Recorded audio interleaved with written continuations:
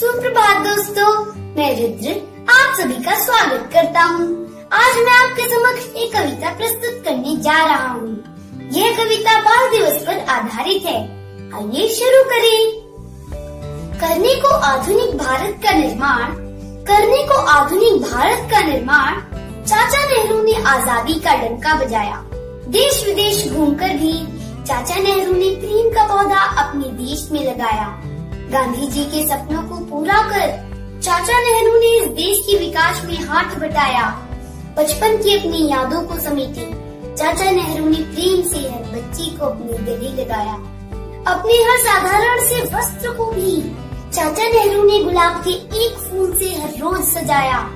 स्वतंत्रता के सेनानी चाचा नेहरू ने भारत के प्रथम प्रधानमंत्री बनकर देश का मान बढ़ाया।